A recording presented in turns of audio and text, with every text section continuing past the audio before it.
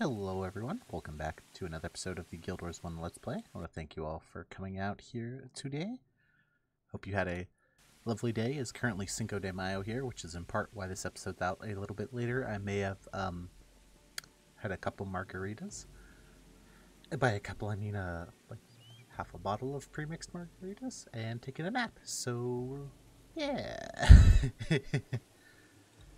yeah, so that's why the tips is out a little bit late. Sorry about that. Anyway. Uh, let's pick up this quest here. Same quest dialogue as the other one. Not going to read it. Um, at the end of a previous episode, we actually got Dunkoro on the squad. Which is nice. We have our first, like, real healer, so we don't have to use the, um, crummy because they assign us with. And we've...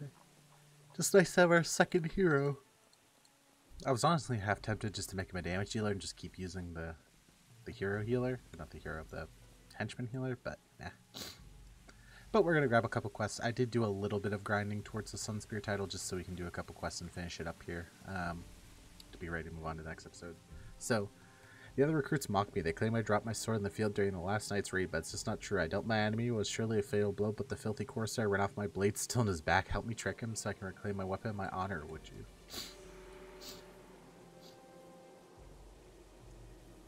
Well, let's go get this dude's weapon back. And this quest should give us enough so that we can start the next portion of the main quest. So we can do that as well in this episode, probably.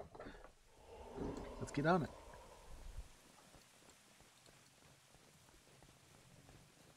Patori. You look like a caster. Why would you have a sword? For honor. Ah, he plays that Ubisoft game.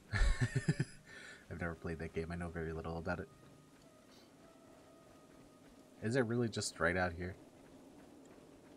Oh, there's a wounded Corsair down there who probably has the sword in his back, so let's go uh, get it back.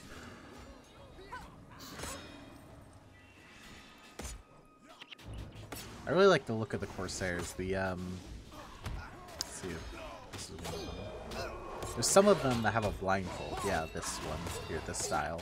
Um, there's actually a really rare tonic um, that turns you into that person, which was owned for the longest time by someone named Nicki Minaj. At least that was their character name. Um, he was a power trader, did a lot of a lot of trading, and he owned that that super rare tonic. There's only one of them in existence. There are two of them in existence, I think. Actually, I think there's two of them in existence. Um, he owned one of them. He also had a mini Kanaxai, which is one of the rarest minis in the entire game as well. But I haven't seen him in a long time. But I do remember seeing him just like around um, years ago, and it's pretty cool.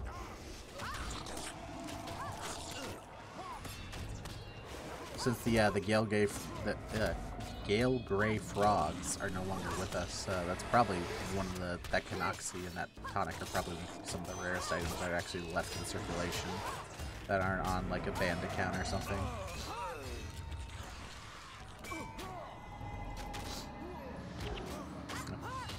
Rest.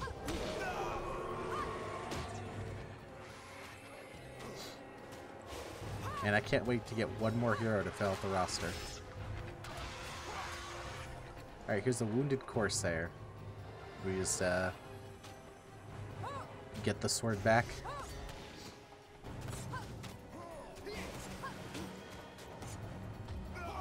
Yep.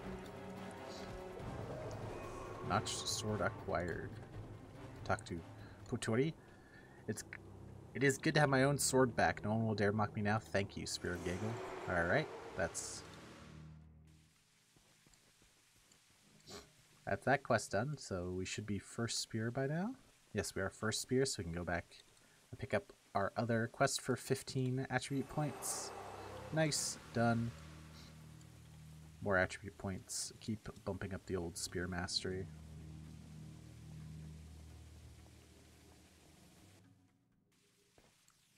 Yeah, you definitely level a little bit fat, a little bit. Sorry, excuse me, slower in Nightfall compared to Factions. Factions was kind of like a speed run. Um, I don't know. It definitely feels better. The start of Nightfall definitely feels better if this was your first experience into Guild Wars. So I think it's the way to do it. Um, this water looks so much better than in previous campaigns. I know it probably still looks bad by modern day standards, but having played through the other games, the you can really notice the engine improvements in um, Nightfall and Eye of the North later. The game just looks much better.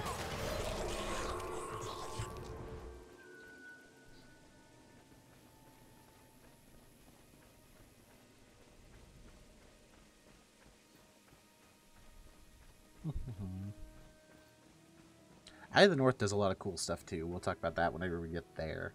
Um, there's a lot of a lot of cool things that can happen. So just to give you an idea of like the timeline, um, the original Guild Wars and factions came out only six months apart, um, not even a full year apart to my knowledge.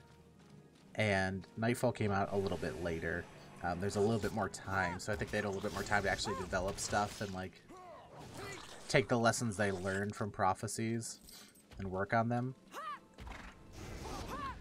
Also, that's I think why Nightfall has like the best written story as well, because it's the one that gets the most that had the most effort put into it, and it wasn't um, like Eye of the North, which kind of has the slight weakness of trying to be the bridge to the Guild Wars 2 universe. I mean, it's the same universe, but you know what I mean.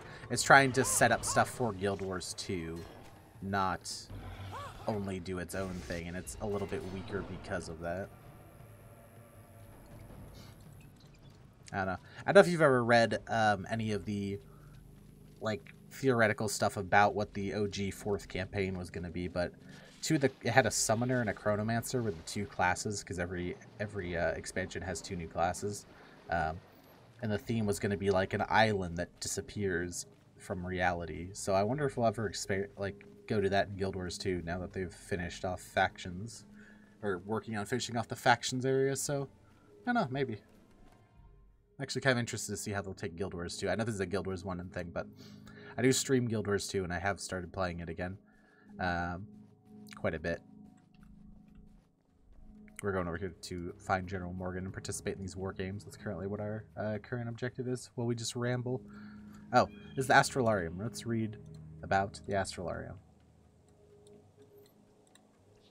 The Astralarium, sitting high atop the bluffs of northern Istan, is home to the astronomically oriented Order of the Sky. This open-eared laboratory with its multiple solar reflectors and pedestal-mounted astrolabes is the center of astrological and astronomical study in Elona. Scholars from all three provinces flock to Zehlon region in order to study the stars of the Astralarium and try to divide the meaning of the ancient dark prophecies. Oh, so it mentions three provinces there. Um, I always forget this because this campaign is divided into more than like three regions, but there's only three regions that really have like people and stuff going on. There's the island nation of Istan down here, uh, the nation of Kourna over here, which is much more deserty, and then the nation of Vabbi up here, which is like um, a bit more like Arabian themed, I guess, whereas the Istani and uh, Kournan are a bit more like traditional, like Egyptian slash African themed. Um, obviously Egypt is part of Africa, but what I mean is like that, like the you know Egyptian architecture style.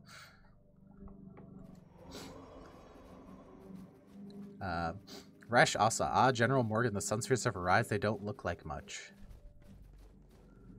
I will evaluate their skills, War Marshal Varesh, and report back to you.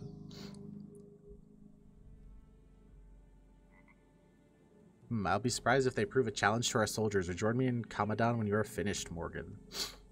General Morgahn. Is he going to give me some rum? Lyssa teaches us that the glory of leadership is found in duty and honor. The Honorable General.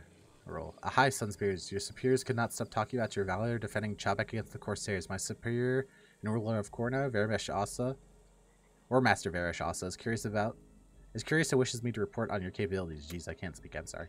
I heard that you're a highly trained Sunspear leader. I look forward to watching you trade blows with my finest. Rest assured you'll be compensated for your time and trouble you're ready to begin the demonstration, let me know. We are ready. So, this is a... Um, this fight is interesting. Essentially, we, we have to get enough of these guys down. You can actually fail this quest. It's relatively easy to do. Um, in order to pass the quest, you actually need to get more kills than the other side. But they will constantly be rezzing each other. Um,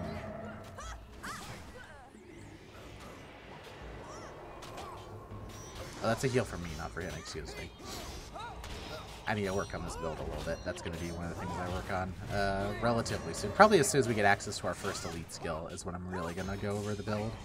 Uh, ooh, we actually should be able to pick up our Sunspear skill. I wasn't thinking about that, but we should be able to pick that up now. So that should be cool. Also, do we have faction? We do have faction, so I might be able to go grab the faction skill as well. Actually, wait, no, no, no. I don't think you can buy the faction skill from here. Guild Hall. Yeah, so there's a there's a faction skill for each of the uh, the factions from Guild Wars faction, Deluxe and Kurzick. It's the same skill, just different icon. Um, we showed off the Ritualist one during the Let's Play, but they actually went back and added Dervish and um, Paragon ones to those skills, so that'd be cool. Alright, finish. Let's talk to Morgahn. What demonstration. Kormir has trained you well indeed. My men would do well to take the lessons you have taught them to heart. I would hate to cross you on the field of battle, Sunspear. As for your compensation, please speak with Emissary Damajan. Damajan? Damajan. Oh, we didn't get a look at this outpost. Um, I'm sorry. We normally do a run through the outposts. Um, so let's do a little bit of a run through the outposts. So, oh, here's a shore watcher. This probably should. This is something I can kind of talk about. So, the sun spears are. The sun spears are like um, the kind of the good guys of all of Elona even though they're based out here in Istan. Like Sunspears help all of Elona is kind of their thing. So these Shore Watchers are more of the like local military um, or local, you know, helpers. Have us a bit of a look around. Got some tables with charts and fire. Oh man, that crackling fire. Oh man. I love MMOs. MMOs are just so great. I love just chilling out here in the fire. Be cool just to hang out here, you know? Ah. Games are awesome. Anyway, let's talk to this dude real quick. Joe Morgahn holds honor, loyalty, and devotion to the five gods above all else. He also rewards such service. I must get back to my studies. In fact, I could use some help if you have the time. I'm sure you, General Morgahn, appreciate your continued assistance to the Kournan delegation. I actually think that's going to be next episode's thing, but we're going to have a little bit of a look around here while I talk and gush about video games. I don't know. This game is just gives me comfy feelings. I've played this game so long ago, and I kind of do get that in games like Guild Wars 2 as well. Um, you just kind of just like happy to be in the game world and doing stuff, or not even doing stuff, just walking around looking at things. Um, there's like some spices and stuff back here. Here's like some some local leaves, like a chessboard. Um, here's a symbol here. This is we saw this in one of the other um, areas as well. This is some ancient symbol that is left over from the uh, the primeval dynasty days. Um, quite interesting. Some building here. The like astro globes that reflect the light. The portals. They also changed the portal icon between games, so that looks different than the uh, the older ones. Um, quite a few different henchmen here. Quite a upgrade. Is these guys holding the globes kind of a reference to uh what's it Atlas from Greek or from mythology? Um, and here's like some big structure in the middle. But anyway, I want to appreciate I appreciate you for hanging out today. I hope you have a great day, and I will see you in the next one. Bye bye.